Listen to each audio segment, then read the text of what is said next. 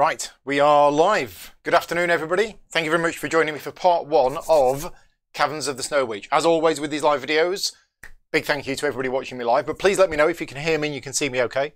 I realised about 30 seconds ago that the actual entire microphone system was, was powered off, but it should be working now. But yeah, let me know.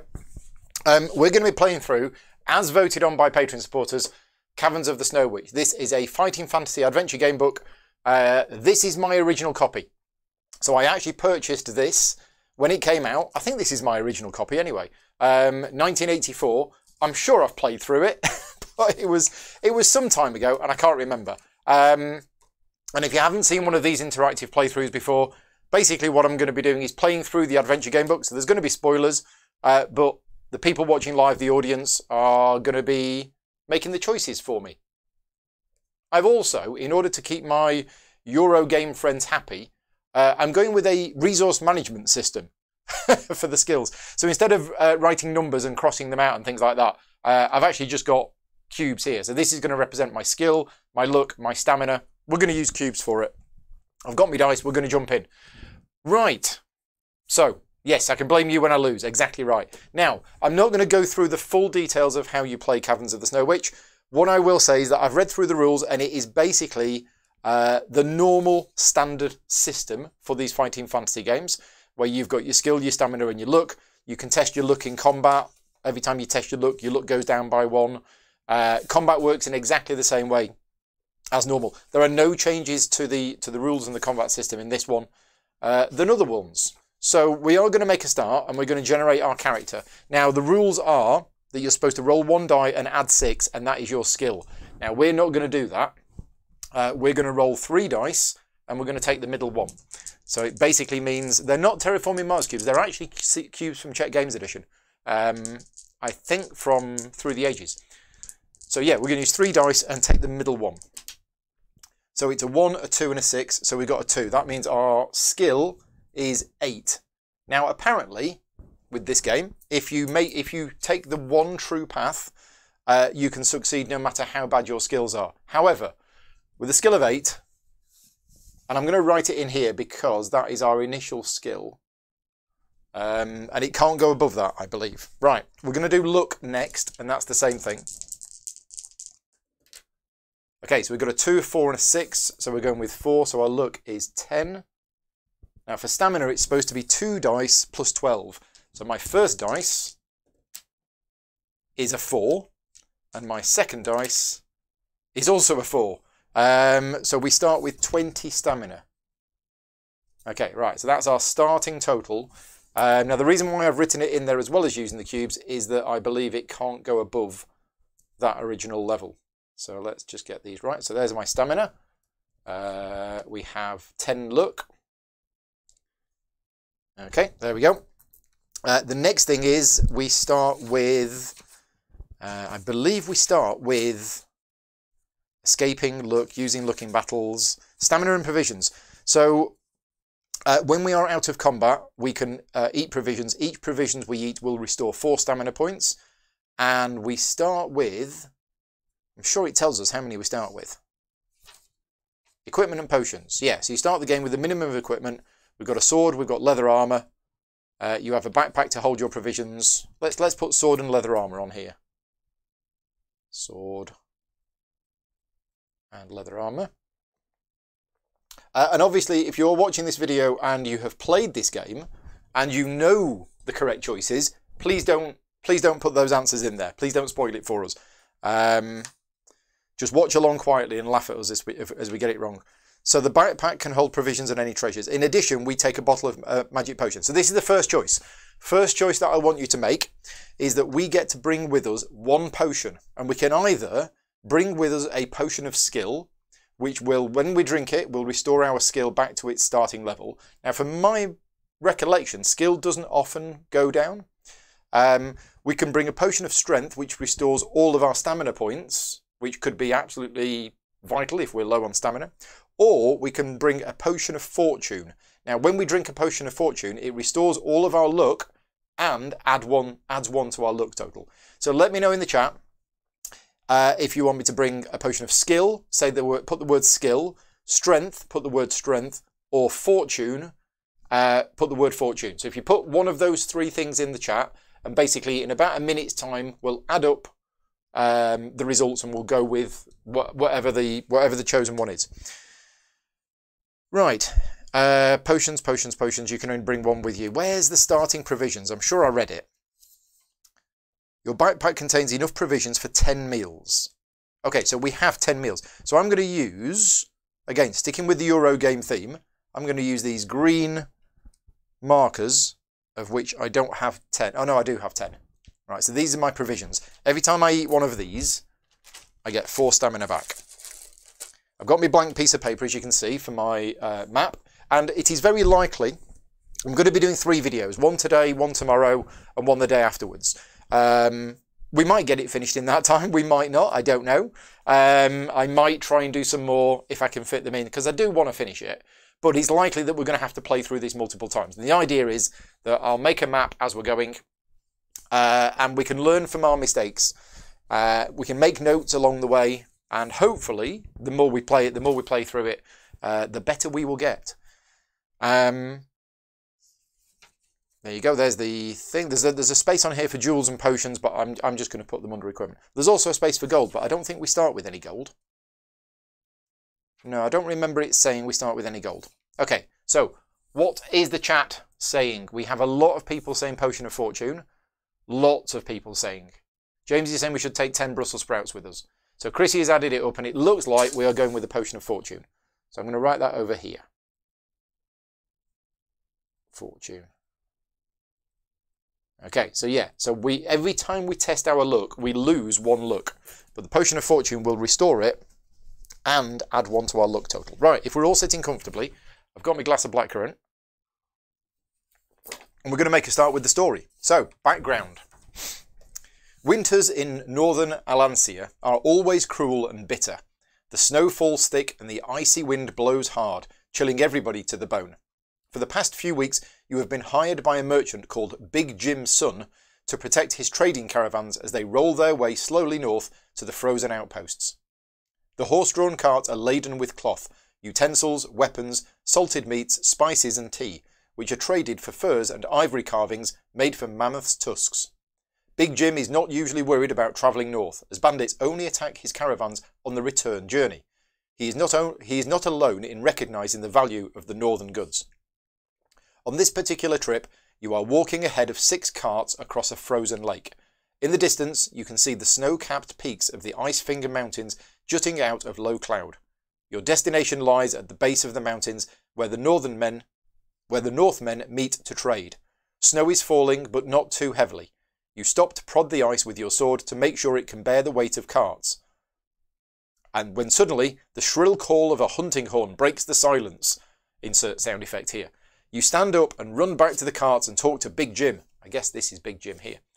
He is sitting next to the driver of the second cart, puffing on a long briar pipe. A huge man with a great bushy beard, Big Jim is obviously a man to be reckoned with.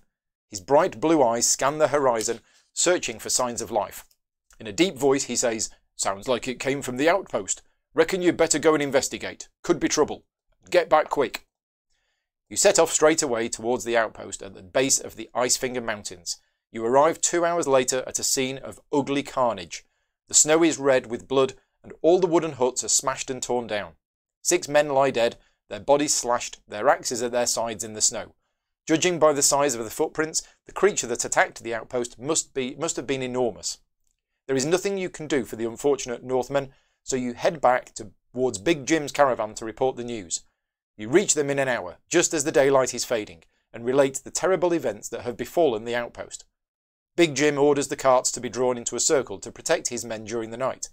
A large fire is built into the centre of the circle, and you sit down beside it to talk to Big Jim.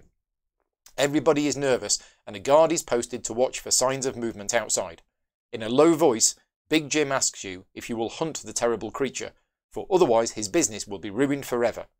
You smile and reply that you will track down the beast, but only for a purse of 50 gold pieces. Big Jim's jaw, jaw drops open, and it takes a great deal of persuasion before he agrees to your demand. The snow finally stops falling as you settle down for the night. Sleep is a long time coming, for your mind is active with thought of the impending hunt. When you wake just after dawn, the fire is reduced to dying embers. Wisps of smoke rise gently into the morning mist, and not a sound is to be heard. You walk over to where Big Jim is sleeping and tap him on the shoulder. He wakes with a start, and you tell him that you are setting off and hope to be back later in the day. You wave to the guard as the snow starts to fall again, make your way back to the outpost. Right, so that is the introduction. Just a couple of things before we start.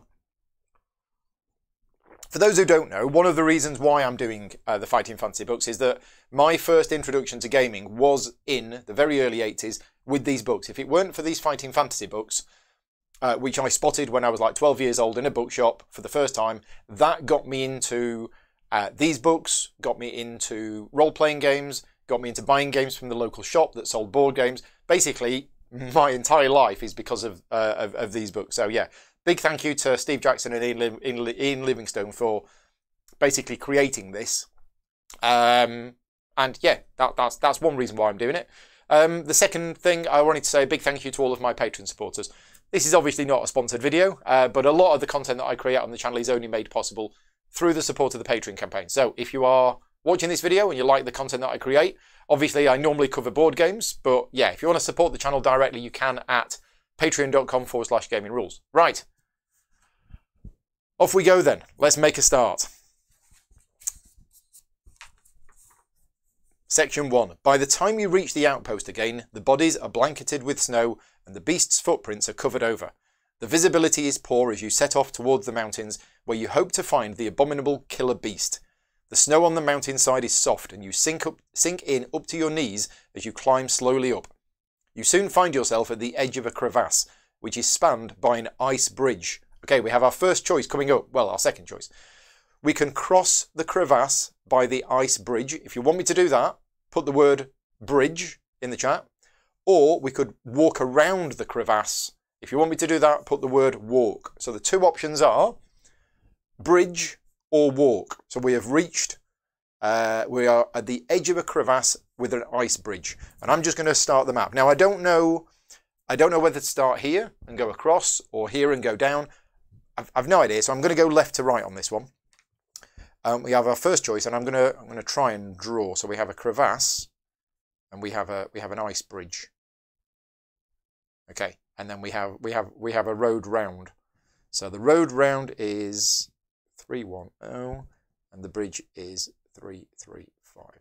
Okay, so this is where we are. And just to keep the gamers happy, I'm going to use a meeple to represent where we are. There you go. So there's us. We can either cross the ice bridge or we can go round. Let's see what the chat says. Uh, oh, and this is number one. We are at number one. Why did I write a zero? Maybe put it in a circle or something. I'll just put a number one. Right, number one so that we don't lose track of where we are. And yes, thank you, Joel. Please remember to give the video a thumbs up. You can do that if you're watching this live or if you're watching this afterwards. Uh, and yeah, as Joel says, I do have plans for when I get to 800 supporters. I'm currently 21 supporters away from 800. Uh, unlikely to make it by the end of this year, but that's fine. Hopefully make it early next year. So what have we got? 10 people saying we should go across the bridge and 8 people walking around. Right, we're going to go with the bridge. Fairly close one. Oh, I love these games. um, 335. They're very nostalgic. They're very old school. You know, we can turn to an entry and suddenly die. Um, we, we, but, you know, they're good fun. They're good fun. 335, we are crossing the ice bridge. The bridge is quite narrow and very slippery. We have to test our luck. Okay, so 335, here we go. So we're testing our luck. Our luck is 10, but remember, every time we test our luck, our luck goes down by one, because eventually your luck will run out. We've rolled a 6, so we are lucky but our luck has gone down by one. I've also been wanting to write my own Fighting Fantasy game book for the last 30 years and never got round to it. One of these days. Right, so we are lucky we turn to 41. 41. You tread carefully over the bridge. Safely across the crevasse, you continue your slow trek through the snow. Turn to 212. Right, okay, so we're going over here. We got across. There you go. There's the ice bridge. Two, one, two. That's where we now are. Okay. We didn't die. We've been playing for 10 minutes and we're not dead yet. I think that's a success. 212. The wind starts to howl, blowing gusts of snow into your face. You put your head down and stride into it. Above the howl of the wind, you suddenly become aware of another sound, the howling of wolves. You draw your sword while trying to peer through the snow. As if out of nowhere, two snow wolves appear in front of you, hunched, ready to pounce. They are completely white except for their blood red eyes. Suddenly, one leaps at you. Fight them one at a time. Right, so these are the wolves, and we have our first fight. So basically, um, I need to write down the stats of the monsters. We're going to fight them separately. And I'm going to use cubes to represent them. So we got one, two, three, four, five, six. Where's the rest of my red cubes? Uh, there's my red cubes. So the first one has seven stamina. So one, two, three, four, five, six, seven, and it has eight skill. Um, where am I going to write that down? I don't. I don't have anywhere to write that down, so I'm going to use coins from Maracaibo to represent its skill. Right. So our first enemy has eight skill and seven stamina, and I need to put something in there. Okay. So the way that combat works, let me just check because it's been a while, and I've played a couple of other these game books since. Um, do you roll at the same time? No, I can't remember. Roll both dice for the creature, add its skill. Roll both dice for yourself and add your skill. And if your attack strength is higher, you've wounded it, and you it loses two stamina. Otherwise, it's wounded you. You can use luck if you want to. Uh, and if you both roll the same, nothing happens. Right, okay, so very simple. What I'm going to do is I'm actually going to roll all of the dice at the same time.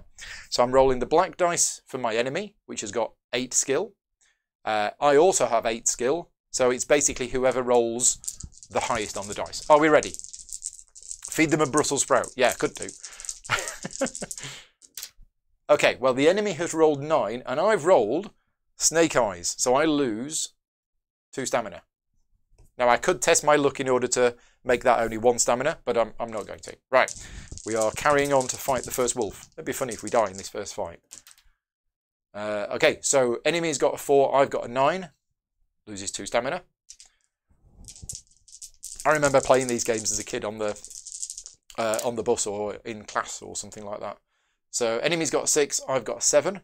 There you go, take that wolf. Uh, oh, enemy got an 8, but I got an 11.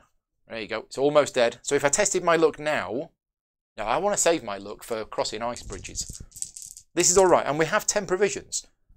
Yeah, we've got loads of provisions. We're fine. We're fine. Uh, so it got a 6 and I got a 7. So the first wolf is dead. Right, now it did say fight them one at a time. And the second one only has 7 skill. So it's got 7 stamina again. 1, 2, 3, 4, 5, 6, 7. Uh, I don't know why it has 7 stamina, because you always deal 2 damage when you kill it. So uh, so I'm basically at plus one on this one. I've got eight skill, it's got seven skill. So it rolled a seven, but I rolled a 10. So there you go. Wounded it. Uh, we go again. Oh, it rolled an 11 and I rolled an 8. So it's wounded me. So it got me. Bit me in the leg. Uh, it got a 5. I got a 4. But because I'm at plus 1, that's evens, so nobody wounds the other. Uh, I got a 4, it got an 8. Oh, this wolf's nasty. Right, come on, Paul, get your better dice rolling hands on. Uh, yep, that's good. So I've wounded it. It's down to 3 stamina. I'm probably going to eat some provisions after this, I think.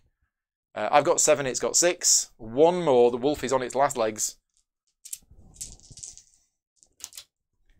Uh, it got 5, I got 4, so we're evens.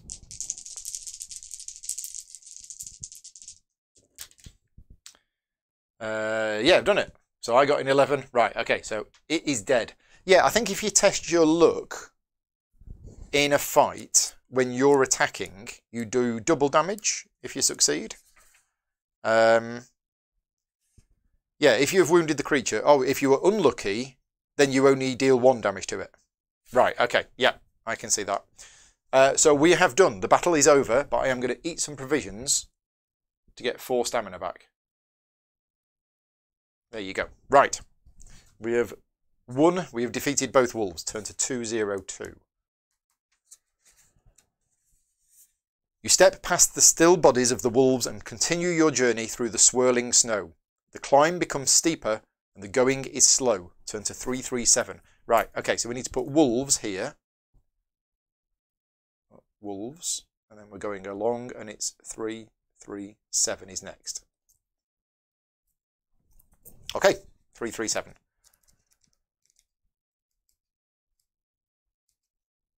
The snow is beginning to fall he very heavily, swirling around in the strong wind. A blizzard is starting. Okay, so we have options. We have another choice coming for you. Uh, we can use our sword to dig a shelter in the snow. If you want me to do that, put the word shelter in the chat. Or we could press on. If you want me to do that, put the words press on. So basically there is a blizzard starting and we can either dig a shelter with our sword or we can press on. Let me know which one you want me to do.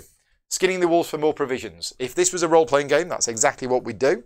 We would skin the wolves, cut them, cut them up, cook the meat, and get more provisions, but limited options. Oh, these are the Brussels sprouts. Ah, right. Okay, yes. So we only have nine Brussels sprouts left. I like it. Um, and yeah, while the chat is talking, as I say, my introduction to gaming was was these books, and I started with the first one, Warlock of Firetop Mountain, before then getting into uh, D and D. Um, yeah, so so th this came for me before role playing games. Right, what have we got? Oh, we got a good mix. Shelter, press on, press on, shelter, shelter, shelter, press on, press on, press on, shelter, shelter, shelter, shelter, shelter, shelter. Okay, so yeah, it was more for shelter than pressing on. So we are going to dig a shelter with our sword. 281. You hurriedly cut blocks of ice out of the mountainside and build a makeshift igloo. You crawl into it as the blizzard blows down the mountain with ferocious power. Your body heat is retained inside the igloo and you keep warm. I think this was the right choice. However, you must eat two portions of your provisions to regain your strength after the tiring walk and the effort of building the igloo. This does not increase your stamina. It doesn't say what happens if you don't have the two provisions, okay? But I assume at this point you probably do have the two provisions. So there we go. We've eaten two more Brussels sprouts. An hour later, the blizzard dies down and you crawl out of your shelter to continue your quest. So, blizzard. Dot, dot, dot, dot, And we're now going on to 169. 169. There we go. Right.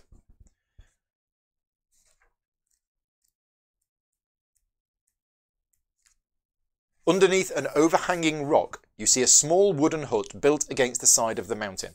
Its roof is piled high with snow and long icicles hang down from the window ledges. You see a set of deep footprints leading from the hut up the side of the mountain. Okay, choices again.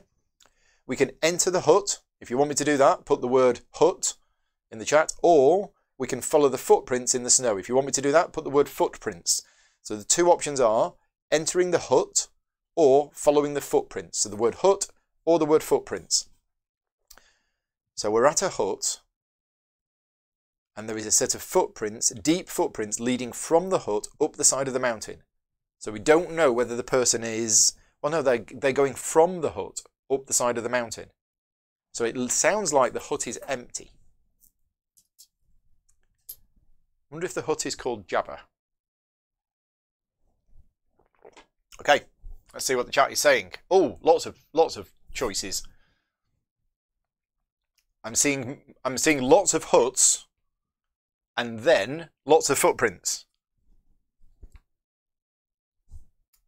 I'll try and count them myself and see if it ties up. Thank you very much, Chrissy. Chrissy is doing all of the counting of the answers. Um, okay, so hut, hut, hut, hut, hut. So there's five footprints hut, hut, hut, hut, hut. Sound like an American football player. So I'm counting 12, 1, and then footprints, footprints, footprints, footprints, footprints, footprints. So that's 12, 7, 13, 7, 13, 8, 13, 9, or 14, 9. Yeah, it looks like we're going into the hut. Right, thank you very much for those choices. I will keep my finger in the page, just in case. Oh, I'm going to write this on, hut. That's what I could be doing. Save time while you're voting. hut. I might draw a little hut. There you go. Check out my artistic skills. Zero. Okay, we are entering the hut. 36. Uh, the front door of the hut is frozen shut, and you have to batter it with your shoulder to open it. There is only one room inside the hut containing the belongings of a fur trapper. Traps, furs, and sacks are stacked in a corner of the room. A wooden bed, a table and chair, and some cooking utensils show sign of recent use, and the ashes in the fire are still warm. Okay, choices again. Uh, we can put some logs on the fire and warm up the cold stew in one of the pans. If you want me to do that, put the word stew uh, in the chat. Or we can leave the hut and continue our quest. If you want me to do that, put the word leave. So the two options are stew, S-T-E-W, as opposed to S-T-U, uh, or what was the other option? Continue, I think. Yeah, I think continue. So this is a fur trapper who's presumably out trapping furs and putting some logs on the fire and warming up the cold stew in one of the pans sounds a bit rude. We break into his house. but I will leave it up to you. Whatever you want me to do, I will put a number 36 next to the hut and I'm not going to draw a fur trapper. So yeah, I, I'm sure I must have played this at some point, but I have almost no memory about it. And the reason why I'm doing this one specifically is that I actually put a poll up on my Patreon page last week with a picture of all of the uh, game books that I currently have. The Fighting Fantasy ones anyway, because I do have other ones. Um, and this one got the same number of votes as Island of the Lizard King, but more people had put this one as their first choice. Uh, so I think it is a, well, it's certainly a popular one. It's the one that got the most votes. But looking into it and reading a little bit about it, it appears to be one of the uh, most well liked ones. So, what have we got? Okay, so one person thinks we should leave. Who's the one person that thinks we should leave? Um, because you might be right. Matt. Matt thinks that we should leave. Well, the rest of the chat says we're going to stay and start eating this guy's food. So we're going to put some logs on the fire and warm up some of the cold stew in one of the pans. 118. The fire is soon roaring and crackling in the hearth. The heat of the flames radiates through your body and you revel in the warmth. The stew is delicious and you feel your strength returning. Add three stamina points. Okay, we can't go above 20. So we're back up to 20. With renewed energy, you decide to leave the hut and continue your quest. Oh, right, okay. So, no worries about um, no worries about getting interrupted by him. We just go in, break in, steal his food, eat his food, and then leave. Side story: the fur trapper returns, find all his food's gone, and starves to death. Oh, sad times. Sad times. I just made that bit up. Right. Anyway, we are continuing our quest. One nine two. Okay.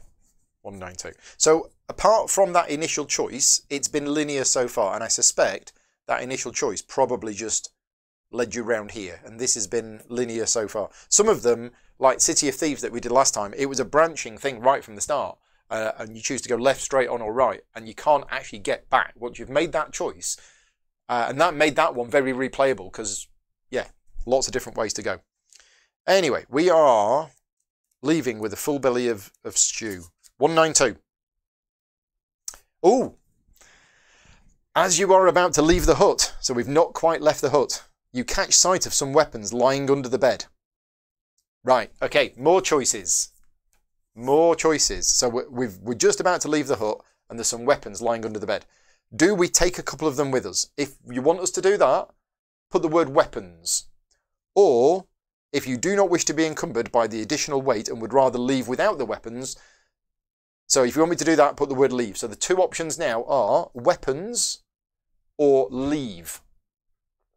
We can take a couple of weapons with us. So as well as stealing his food, we're going to steal his weapons.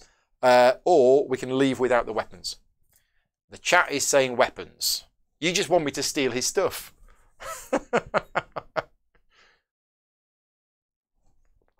And again, that's the good thing with uh, if you do this multiple times, we, we will learn, presumably, from the things that go wrong and not do them again. In fact, I can put this over here. put that over there. That looks better.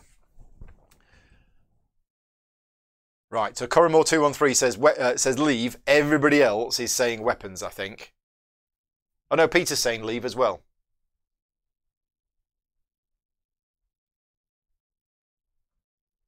Yeah, I think the majority of the chat are saying weapons.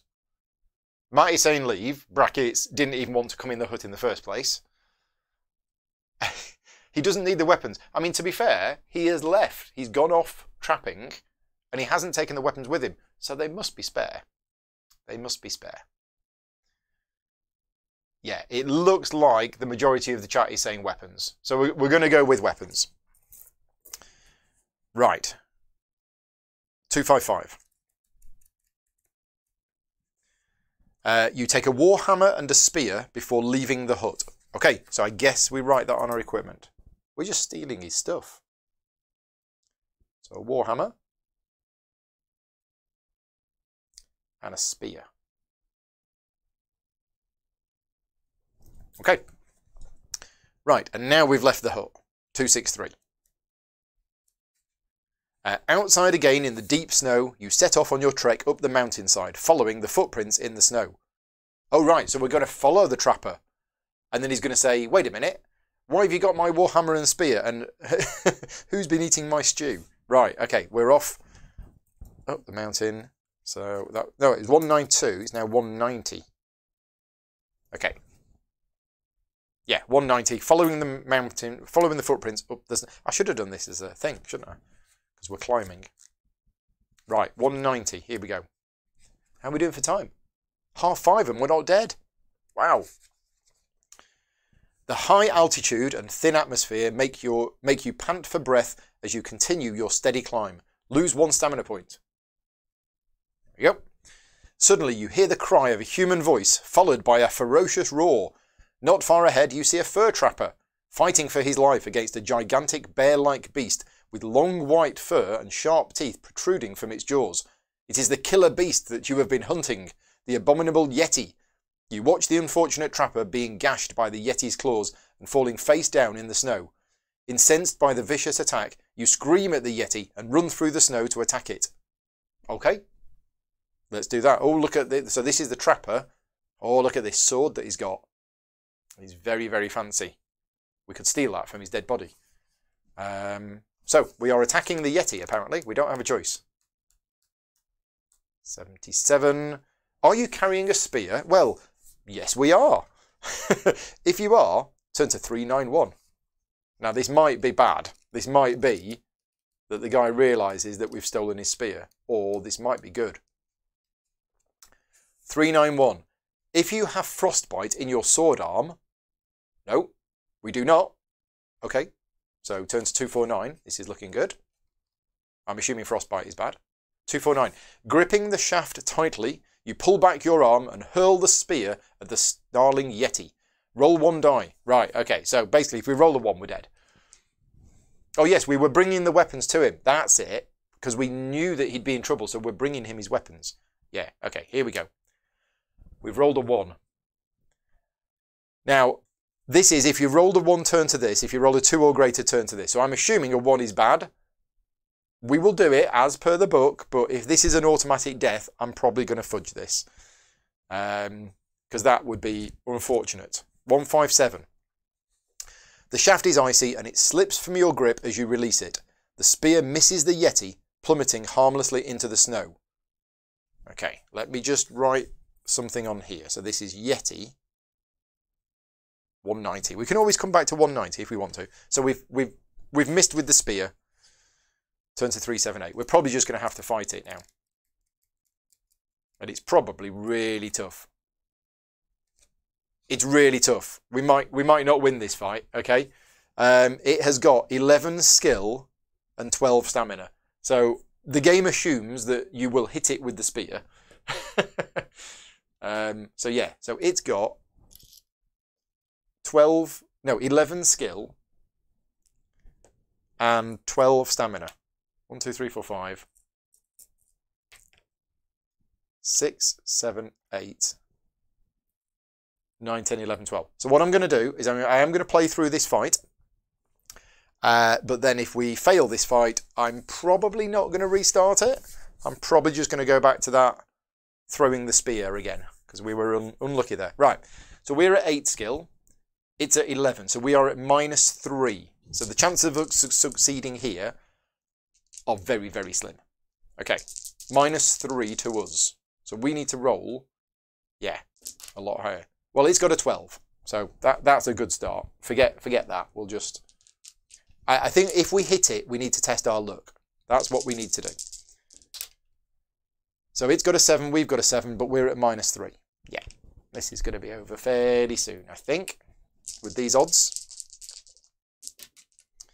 Uh, we got a 9, it got a 7, but unfortunately, it's at plus 3. Yeah, can anybody tell me the odds of us getting higher than it on 2d6 with it at, effectively at a plus 3? I think it's quite slim. Yep, here we go. Oops. And another yeah, so that's what, five in a row that we've lost, or six in a row? I think six in a row. Uh, seven in a row.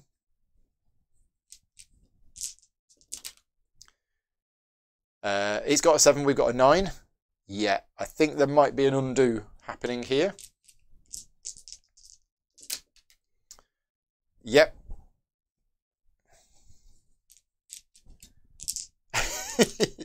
Absolutely mauled by a Yeti. Okay, so there's our first playthrough. We got killed by a Yeti. Rather than restart right from the start and go through it all again, I'm just going to undo to the point where we threw the spear. Uh, what what stamina was I on? I think I was on 19.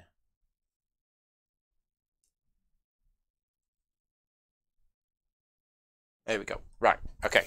So that didn't happen. Rewind. It was 190.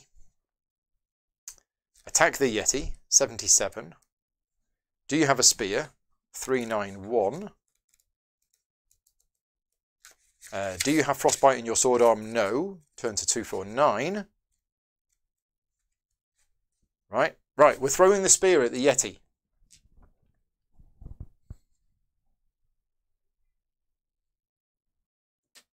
Oh, look, I've rolled a 2. Fantastic. It's a good job I didn't roll a 1. I think a 1 might be bad. Okay, we've thrown the spear at the Yeti. The spear flies through the air and thuds into the Yeti's shaggy chest. It roars in pain but does not fall. You quickly draw your sword to fight the enraged beast. So it's got 10 skill and 9 stamina. Okay, it's still going to be bad. um, but Yes, I mean that's the nature of these books. They they are definitely of their time and they are exciting and they are fun. Uh, but that for me was like, well, wait a minute, you've got the spear, you don't have frostbite, and then it's a one in six chance that you might get completely screwed. So yeah, I'm happy with undoing that. And again, this is still not good because our skill we rolled slightly lower than average. Okay, so that's going in there. We are fighting again. So this time um, yeah, skill 10 versus skill 8. So we're on a we're on a effectively it's on a plus 2. Right. Off we go. So oh, we've done it. So it's got a 7 plus 2 is 9. We've got an 11. So I am going to test my luck because if if we succeed, we're going to do 4 damage instead of 2. So our luck is uh, our luck is 9 at the moment. We've rolled a 5, so we've got a lucky hit. We've dealt 4 damage to it. There you go, 4 damage. Next round of combat. Oh, we've done it again. But I'm not going to test my luck again this time. It's got a 5, plus 2 is 7. We got an 8. Well, that, yeah, I mean, that was lucky. I don't think I'm going to test my luck again. No, not yet. We'll see how we get on with the next hit.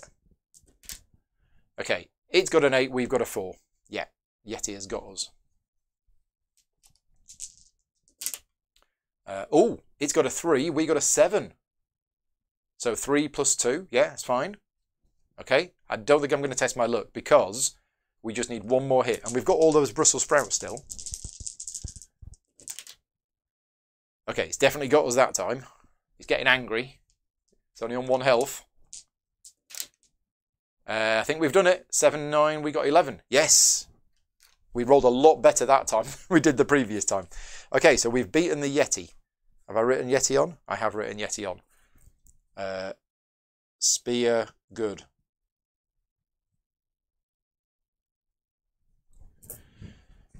Right, turn to 67. 67. Are we ready? You kneel down beside the fur trapper and turn him over slowly. His eyes are barely open and blood trickles down from the corner of his mouth. The Yeti has gouged deep wounds in his chest and you realise there is no hope of saving him. With a great effort, he reaches up and grabs you around the neck, pulling you down so that you can hear his dying words. He thanks you for trying to save him and insists on telling you his secret. In terrible pain, he struggles to whisper his story. He tells you that he has lived in the mountains for most of his life, hunting animals and trading their furs. But for the last five years, he has been searching for the legendary Crystal Caves. These caves have been cut out of a glacier by the followers of the Snow Witch, a beautiful yet evil sorceress who is trying to use her dark powers to bring on an ice age so that she can rule supreme over the whole world. The entrance to the Crystal Caves is high up on this very mountain. It is open, but hidden by an illusion. The unfortunate fur trapper found it by accident only yesterday, when he saw one of the Snow Witch's warriors seemingly walk straight through an ice wall and disappear. The trapper left a piece of fur hanging over the entrance so that he could find it again the next day. Sadly, the Yeti has put an end to his hopes. He asks you to enter the caves to slay the vile Snow Witch and leave her followers without their leader. There are legends about great treasures being frozen into the wall of the Snow Witch's lair, which would prove ample reward.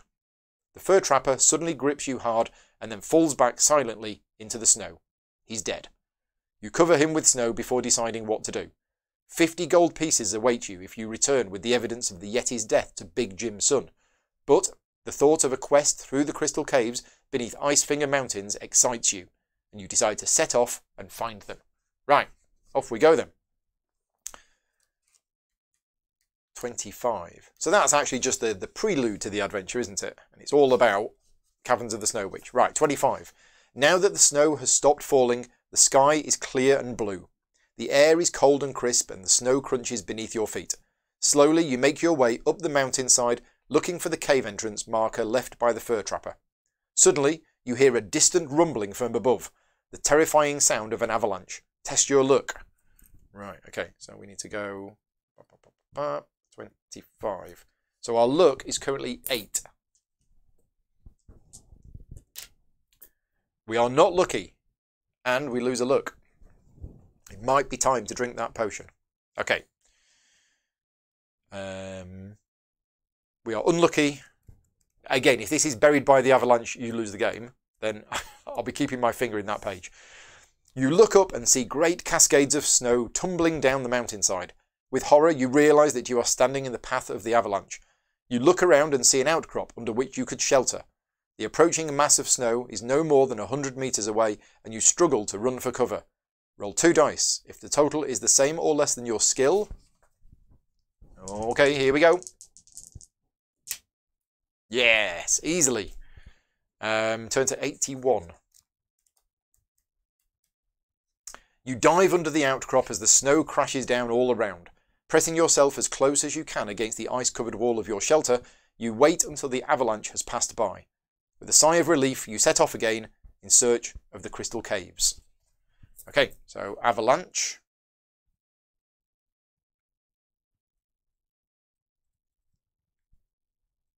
Okay, and now we are going off again. 363. You make your way slowly up Oh, I've just noticed. This has got a pencil mark around it. So 35 years ago when I played this game, I've drawn a box around this and I don't know why. You make your way slowly up the mountain until you reach a rock face that is too steep to climb. You walk around the side until you see a massive wall of ice which completely blocks a gully between two peaks of the mountain, the glacier. Your heart leaps as you catch sight of the piece of fur left hanging on the wall of ice by the trapper. Although you cannot see the entrance, you walk straight ahead.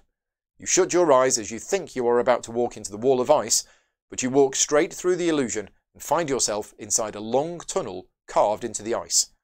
You walk down it and soon arrive at a T-junction. Okay, next choice, left or right. Very simply, it is left or right. So we have gone through the wall. We are now inside. So I'm going to write, I'm going to draw a wall there. We're inside. Uh, we're in a tunnel and we can go left or we can go right. Okay, so this is 363. Uh, and left is 395. Fine, let's do it a different way.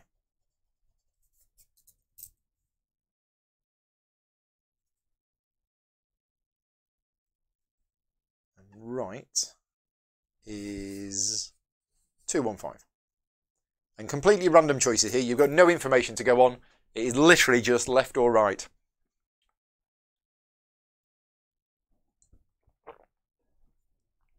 This is a good save point, actually, because I think this is where the, the proper adventure might start. I think all of this is fairly linear, leading you up to this point. Um, yeah, but I mean, next time I play, maybe I'll walk round the crevasse. Maybe I will ignore the hut. No, I won't ignore the hut because we know that going in the hut is good. Um, and we know that getting the spear is good because you need that to fight the Yeti. If you don't have the spear, fighting the Yeti is really hard unless you get, get more skill. Should we also eat a provision? I think we should eat some Brussels sprouts. I'm going to eat some Brussels sprouts and restore some of our, our lost health. There you go. We're back to 19. So, yeah, sounds like young Paul is suggesting we restart from here if you die. Maybe that's what I've done. So we've got 13 votes for left and 5 votes for right. You're clearly all lefty people. If you wish to walk left, turn to 395. Okay, let's do it. The tunnel bends around to the right. As you turn the corner, you almost bump into a tall, pale-skinned humanoid coming the other way. He is wearing a white cloak with a hood pulled over his head. He is a mountain elf, one of the Snow Witch's followers. Right, we have three options here. Um, so this is a follower of the Snow Witch. It's a mountain elf. Don't know whether he's good or bad, but we've got three choices. We can nod your head at him and walk by nonchalantly. Uh, if you want me to put, if you want me to do that, put the word nonchalantly in the chat. I'm just messing with you. Um, the other option is that we can tell him we have come to join the Snow Witch's followers. If you want me to do that, put the word join, or attack him with your sword. So the three options are nonchalantly, join, or attack. And meanwhile, I will update the map because it says it bends round to the right and there's an elf. I'm going to draw a little stick man. I'm going to put elf.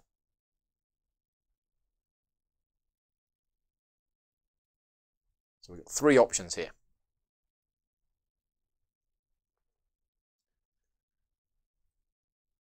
And going back to my days as a as a teenager when I was playing D and I used to love drawing maps. I mean, I used to be the GM of our, our group, and I've I've created so many adventures and dungeons over the years. And yeah, creating maps was one of the things that I really like to do. I mean, I don't know where they are, but I've I've I've done in the past. Um, you know, influenced by Forgotten well Realms and Greyhawk. I've got huge hex maps of entire worlds with cities and everything over them. Um, yeah, I, I presumably lost over the decades. But yeah, I did all of that. As I'm sure many of you have done. Right, what have we got? So 11 nonchalantly, 4 join and 2 attack. Right, okay, we are... How many people spell nonchalantly correctly? Oh, most people. Okay, so we are going to nod our head at him and walk by nonchalantly. It's a great word, isn't it? 89. Test your luck.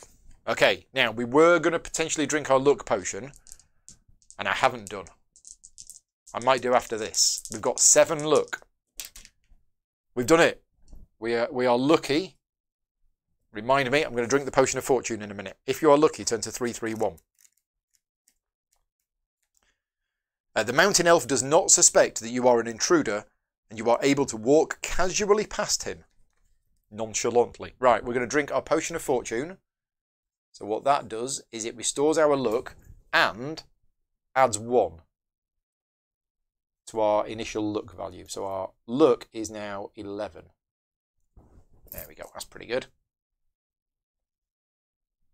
8, 9, 10. How do you think it's working with these cubes? I think it's working quite well. This is a lot easier than keep rubbing something out and crossing it out. Right, 241. So we are going past, and it is now 241. Uh, yeah, off we go. I don't know about you, but I'm really enjoying this. I mean, I wanted to do this because we did it last year, and a lot of people joined in and said, um, you know, are you going to do another one? And I was like, yeah, okay, I, I, I remember enjoying it, but I'm, enjoy, I'm enjoying this a lot more than uh, than I thought I would. The tunnel forks, and you must decide quickly which way to go. You can hear the sound of running feet coming down the branch to your right. If you wish to run down the left branch, turn to 321, or head down the right branch to face whoever is coming towards you. Right, so we have uh, we have a choice. We can go left or right, but there is running feet coming down the branch to our right. Take that into account when you're deciding whether we go left or right. If we go left, I guess we're going to avoid them.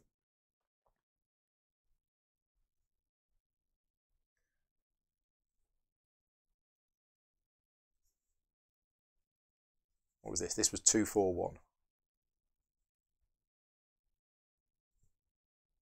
I don't know if you can see this map that I'm doing. It's a bit, it's a bit small. But you get the idea. I mean, I'm sure you can go online and you can find other people's maps. But I never want to look at maps before I play it.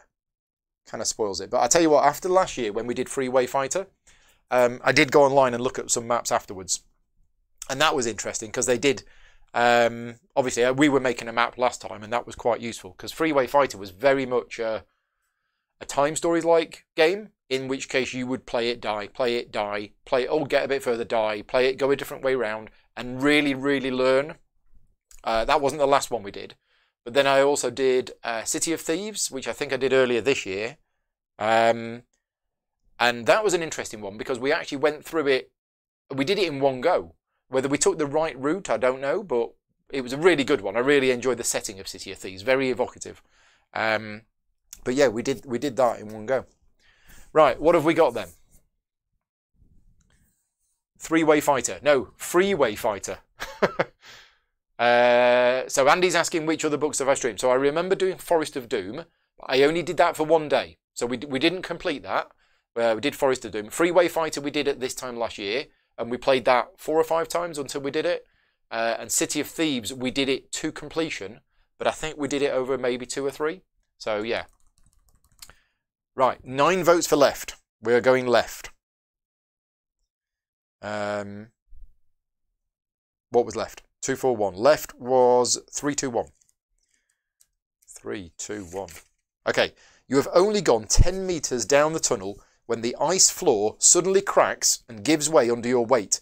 You fall down into an ice pit, a trap made by the Snow Witch's followers.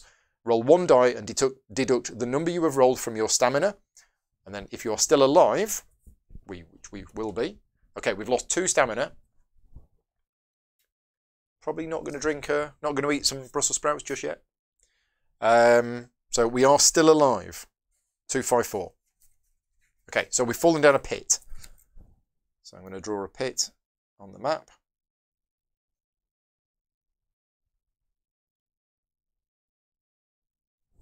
Right, next, 254.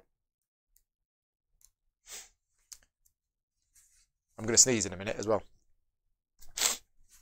You groan with pain as you try to stand up. Looking up to see how far you have fallen, you are dismayed to see two ugly faces staring down at you. A rope is thrown down to you, and you are ordered to throw your sword up to the goblins before climbing up the rope. You are trapped in the pit and reluctantly comply with their orders. As you are about to climb, you notice that both the goblins are holding the rope. If you wish to climb up, or we can pull hard on the rope to attempt to pull them down into the pit. Okay, so two options. Uh, let me know which one you want me to do. We can climb up the rope, or we can pull the goblins down into the pit. Now, bearing in mind, if we do that, we're probably going to be stuck down the pit. But it's your choice, climb or pull. Which one do you want me to do? Um, there are also another series of game books. Uh, the Sorcery series of game books by Steve Jackson, they were really popular back in the day. They've actually been converted into a digital adaptation. I think I've got all four parts of those. Um, and I think I've actually covered it once on the channel a couple of years ago. But I'm very tempted to play them again. Um, so yeah, Choose Your Own Adventure books are available uh, online in various places. Did we lose our sword? I think we have lost our sword. The goblins have the sword.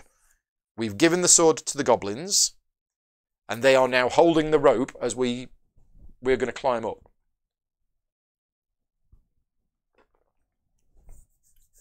Uh, Way of the Tiger books are very good, apparently. Yeah, I don't have any of the Way of the Tiger books, um, but they are done by two of my favourite authors. So Oliver Johnson and Dave Morris um, did a whole load of game books, including Bloodsword, including Dragon Warriors. They were very influential as well into my uh, upbringing into games. Uh, and yeah, the Way of the Tiger books are also really good. Okay, so how many choices have we got? We got six for six for climb and thirteen for pull. Uh, although since then Janet has said climb, but that's still not enough.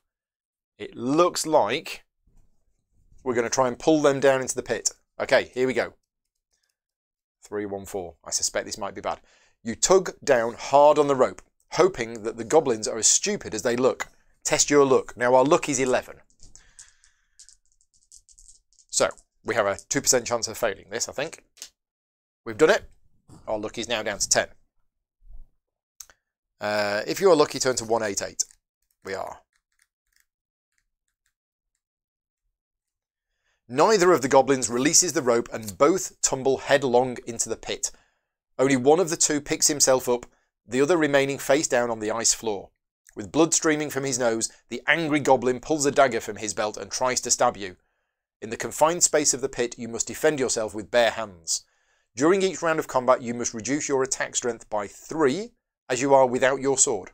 Okay, so we are fighting at a skill of 5, and the goblin is also fighting at a skill of 5. However, the goblin only has four stamina. Okay, so here we go. Uh, we're basically evens, aren't we? Yeah, because we're fighting barehanded against uh, against the goblin with a dagger. So we've rolled an 8, it's rolled a 9. So the goblin stabbed us with its dagger. Right, next. Uh, we got a 6, it got a 7. The goblin stabbed us with his dagger again. Goblin stabbed us with his dagger again. This is no good. Come on, dice.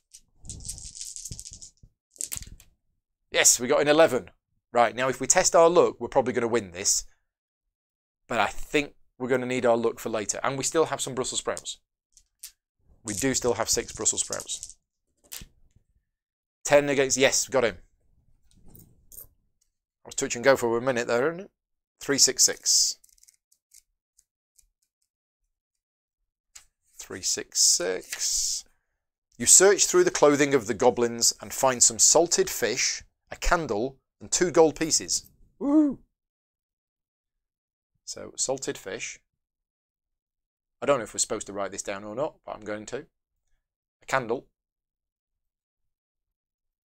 And two gold pieces. Which you decide to keep. Both goblins are wearing metal collars around their necks, which you cannot remove. Taking the dagger from the goblin you slew you cut hand and toe holds into the side of the pit and haul yourself up. Picking up your sword, you decide which way to head, wondering if there are any more traps further down the tunnel. Okay, so two choices here. Um, we can continue along this corridor. If you want me to do that, put the word continue, or we can walk back to where the tunnel forked and go down the other branch. So if you want me to continue, put the word continue. If you want me to go back, put the word back. Let me know which. If we cut the heads off, we can't get the metal rings from their neck stumps. We probably could, I don't know why we'd want the, uh, the, the metal rings.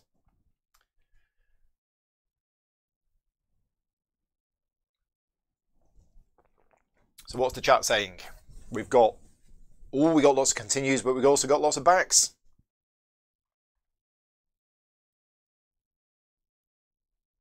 We're going to have to add these up. continue, continue, continue, continue, back. Back, knock these off, back, back, back, back, continue, continue, continue, back, back, continue, continue, continue. I think it's continue. I think we've got, yeah, plus five on continue. So that's what we're going to do. Thank you to everybody for voting. And if you're watching this live and you're not voting, just sign into YouTube and get involved. You can help me make these decisions. Because uh, we've currently got about 20 people voting each time. I think it's about 20 people voting. And we've got about 40 people watching live. So, yeah, if you're, I mean, you're welcome to just watch live and uh, enjoy. But if you wanted to join in the voting, just sign into YouTube and you can do that. Right. I've turned to a page and I've lost where we were. Was it 365? It could have been 365. I'm going to have to go back, unfortunately. I could just look for the goblins. I'm looking for the picture of the goblins because I've lost track of where I am. I've written a few numbers on there, but not enough. Is that the goblins?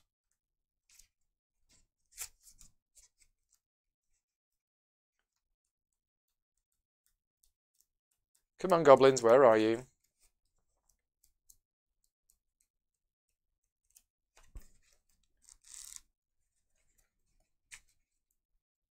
If anybody knows a number of where we were,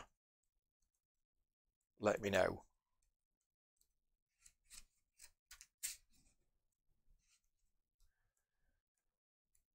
Try not to look at the pictures whilst looking at the pictures, because I'm looking for looking for the goblins.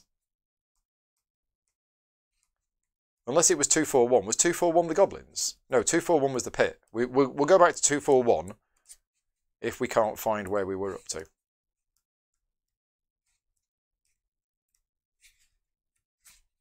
That's not a goblin. No, that's something else. Right, so we were at 241. Uh, 241, we went down the left branch, which was 321. Then we fell down the pit, which was 254. There's the goblins. Then we pulled hard on the rope, which was 314. We were lucky, which was 188. We then fought, which was 366 and then we went we were continued down which was 88 right. 88 here we go. The tunnel continues for some distance before opening out into a circular cave. Another tunnel leads out of the cave directly opposite. You are suddenly met by a strange sight. There are two small pools in the floor uh, with steam gently rising from them. Protruding from one pool is the hilt of a sword and from the other the shaft of a spear the frozen body of an orc lies against the wall, its arm rigid and pointing towards the sword. As you approach the pools, you see a rhyme carved in the ice floor which reads, Sword or spear, strength or fear, how to choose, win or lose. You stand and ponder the rhyme, trying to decide what to do. Will you draw the sword from its pool? If you want me to say, if you want me to do that, put the word sword. Or pull out the spear from the pool. If you want me to do that, put the word spear. Or walk directly through the cave into the tunnel opposite. So we have three choices, sword, spear, or tunnel. So the frozen orc is pointing at the sword. I'm just going to read it again. Sword or spear, strength or fear, how to choose, win or lose. And the orc is pointing towards the sword. Hmm. I'm thinking sword. So we have a circuit. That's not very circular, is it?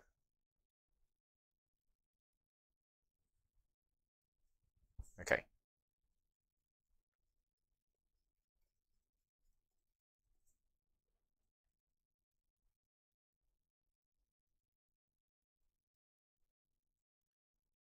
I think this is 88.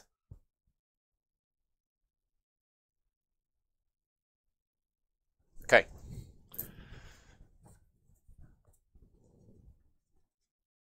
Sword, spear, or tunnel? What have we got in the chat?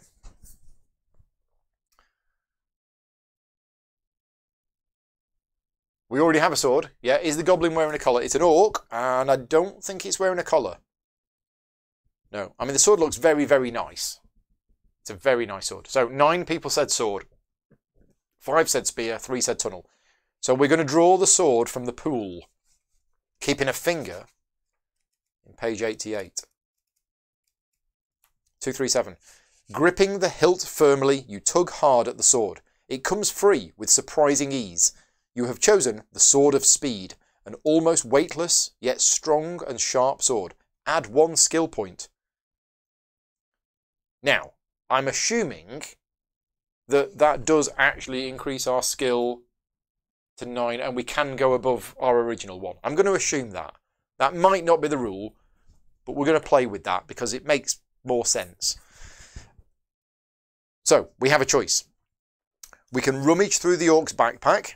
If you want me to do that, put the word backpack. Or we can walk directly through the tunnel opposite. If you want me to do that, put the word tunnel. So the two options are backpack or tunnel. I'm going to put a, an orc in here. Orc. So there's the sword or spear. Put that on here actually. Sword, spear. I wonder what taking the spear would do. We'll find out next time we play. Now I'm going to keep just check the time. It's 10 past 6. So just to let you know what my plans are for today. Uh, after we finish this playthrough, I'm going to go for dinner. We've got the leftovers from the Christmas dinner yesterday. Um, and then at 7 o'clock tonight is the Patreon meetup. So if you are a Patreon supporter of mine, you should have received uh, a message about a few days ago, I think. Uh, no, in fact, I sent one out today. I sent one out about an hour ago or hour and a half ago or something like that. Um, we're having a meetup tonight. So uh, basically a, a holiday get together for Patreon supporters. Um, if you want to join in, it's on the Discord channel tonight. There's a special category, special room that's been created on the Discord channel. And that's happening at 7 o'clock tonight. So I'm going to be doing this for about another 15 minutes today. Um, and then if you want to follow on with part two, that will be at 5 o'clock tomorrow. Uh, but then we've got the Patreon meetup this evening. Right, 14 people have said we're going to search the backpack. Okay, 354. 354. Inside the backpack, you find a pair of old leather sandals, a stuffed rat, and a mouldy loaf. Okay, so sandals, uh, a stuffed rat, and a mouldy loaf. Speaking of mouldy loaves, I think we're going to have some Brussels sprouts. Eat some Brussels sprouts and get four stamina back. How many is that? We're on 15. Let's have some more Brussels sprouts. Let's have four more. There we go. Right. Next. Oh, if you wish to eat the loaf, turn to two 240. Right, okay. Do we want to eat the loaf? If you want us to eat the loaf, put the word loaf or put the word tunnel. So lots of options. So maybe we won't eat that just yet. Because the chat might tell us to eat the loaf and it might be good. So, yeah, never set off on an adventure without a stuffed rat. So, uh, loaf or tunnel? That's the choice right now. We can't eat the rat. Rick's trying to turn this into a role-playing game. yeah, we can't eat the rat. It's a stuffed rat. Now, personally, I don't think I don't think eating a mouldy loaf is is a good thing to do. So the chat is all going tunnel. We're we're going to go tunnel. Yeah, nobody's saying eat the mouldy loaf yet. So there we go. We've had a Brussels sprout, and now we are going through the tunnel on the opposite side of the corridor. And I hope there isn't much more in that direction, because otherwise my map's not going to work. Right, two two one. Yeah, nobody has said eat the mouldy loaf. Thank you. 221. The tunnel turns sharply to the right. Excellent.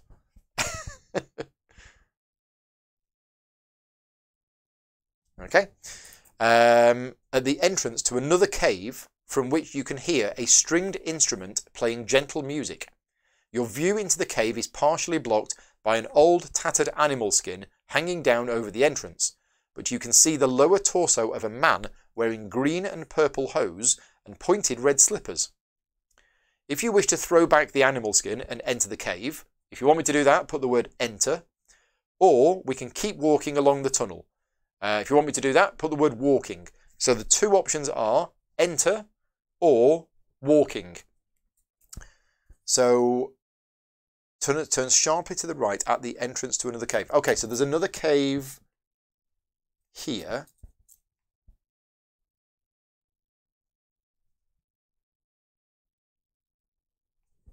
And there's some kind of person inside, like a minstrel, playing a musical instrument. And we can either enter or ignore him and walk away. Enter, enter, enter, walk, walk, enter, enter, enter, enter, walk, enter, steal his shoes.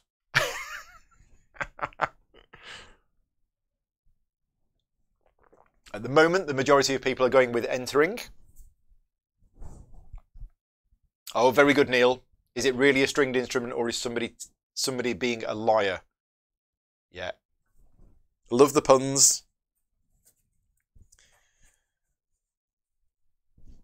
Looks like we're entering. We are entering. Uh, so this is 221 B Baker Street. Okay. Uh, throw back the animal skin and enter the cave. 303. The man before you is a minstrel. He is wearing a green and purple checked tunic over his hose and continues to play his lute despite your intrusion. Two large clay pots are the only other things in the cave. Right, we have three choices. Attack him with our sword. If you want us to do that, put the word attack. Ask him about his music. If you want me to do that, put the word music. Or nod politely and leave the cave to continue along, along the tunnel. Put the word leave. I pretty, know, pretty much know what you're going to say. So the three options are attack, music, or leave. I'm assuming you're going to say music. And I don't know whether there's a another uh, exit to this. So this is going to be minstrel.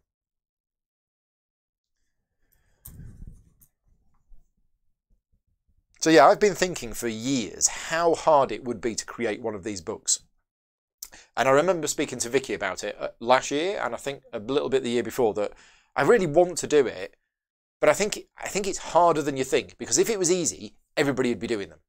Um, and that's that's that's my problem with it. I kind of go into it thinking, oh, it'll be easy to write my own, um, and then it, it, it probably isn't. So yeah, it kind of puts me off trying to write my own because I don't think I've got the skill to do it. Um, and it, it might take a long time and a lot of work. Right, 14 people are saying music. Um, but if you do want me to create write my own, let me know on the Slack channel. Start a discussion uh, about what setting. Probably be fantasy for me. But I've already got ideas that I wouldn't want it linear. I'd, I'd, I'd want something a bit different. Right, 80. The minstrel looks amazed that you are interested in his music. He stops playing and says, You must be new here, as the ignorant scum who live around here, apart from our beloved Snow Queen, of course, will not listen to my music. The fools! If only they knew what fortune I could bring them with my songs. Stranger, I can play a song for you that will heal your wounds. Listen carefully and watch. Later, tell that rabble about it, and perhaps they will come to respect me and my music. The minstrel then starts to play a soothing tune, and you watch amazed as one of your wounds heals. Add four stamina points. Oh, we only get one. Uh, come back for more treatment sometime, he says, looking pleased with himself. You thank him and leave his cave to continue along the tunnel. Right, okay, so we know that next time we play, we can go there and we can heal for four. Heal four if you're nice to him. Okay, we are going to continue along the tunnel. How are we doing for time? Quarter past six. We'll play a bit more. In the distance, you can hear chanting voices. Soon, the tunnel ends at the entrance to a large cavern. Kneeling down before an ice effigy in the shape of a demon, with their hooded faces pressed to the ice floor in worship, are ten of the Snow Witch's followers. there are two exits from the cave, one straight ahead and one to your right. So the two options are we can pretend to be one of the worshippers and walk boldly into the cavern. If you want me to do that, put the word pretend. Or we would we could creep cautiously into the cavern. If you want me to do that, put the word creep.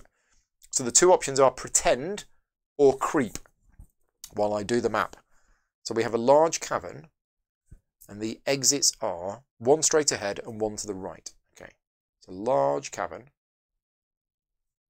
one straight ahead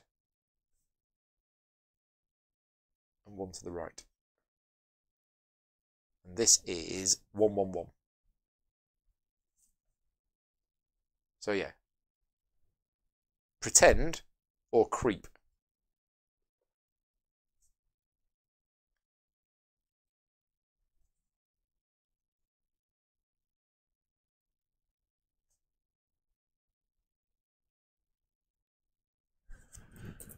What have we got? What have we got? Rick says we should do one together. Well, we are doing one together. so, eight for pretend and nine for creep. Okay, right then. So, just. It's close. It's the closest one we've got. Okay, we are creeping in. Creeping cautiously into the cavern. 283. You breathe in deeply and walk stealthily behind the effigy towards the tunnel opposite. 370. Okay, so we, we have a... It looks like we don't have a choice if we were creeping. We've got to go straight on. 370. You are almost at the entrance to the tunnel when the worshippers stop their chanting. They stand up, and one of them calls out to you, asking why you did not stop to sing the praises of the Frozen One. Gulp. If you have a magic flute, you can tell them that you have been ordered to go and play it for the Snow Witch. Otherwise, you can either fight them or try to run through the tunnel. Okay, two options are fight or run. So we've been we've been stopped. We were sneaking around. It was all going okay. And we don't have a magic flute. So I don't know where you get the magic flute from. That might be if you've gone another direction. We'll, we'll see next time we play it. Uh, but yeah, let me know whether we're going to fight or we're going to run.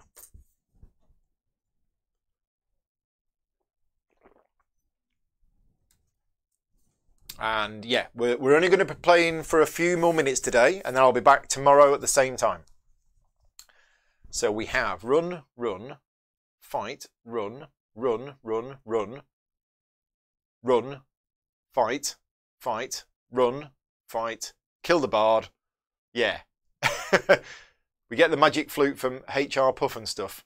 I, I, I don't think the bard had a flute, but you might, you might be right. If we attacked him, maybe he did have a flute. So it looks like we're running. Run! Right, okay. Uh, where are we? Where are we? Here we go. We're trying to run for the tunnel. Turn to 33. What's the worst that could happen? 33. We've only got four Brussels sprouts left.